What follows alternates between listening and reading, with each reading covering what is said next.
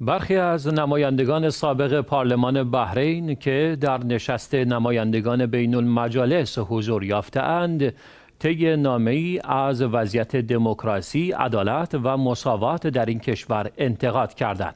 شیخ حسن سلطان، جواد فیروز، جلال فیروز، متر متر و علی الاسود نمایندگان سابق پارلمان بحرین هستند که در این نشست شرکت کردند. این نمایندگان همچنین نامه رسمی خطاب به مارتین چونگونگ دبیر کل اتحادیه بین المللی بین المجالس ارسال کرده و در آن به شدت از وضعیت دموکراسی، حقوق بشر، عدالت و مساوات در بحرین انتقاد کرده و اعلام کردند که این کشور در چنین مواردی بسیار عقب است.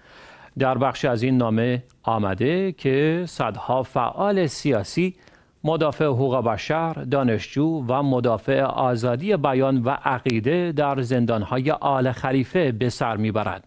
این نامه افزود بعد از انقلاب 2011 در میان افراد سرکوب شده از سوی حکومت حدود 15 نماینده پارلمان بازداشت، شکنجه، برکنار و سرکوب شدند. تابعیت تعدادی از آنان هم سلب شد.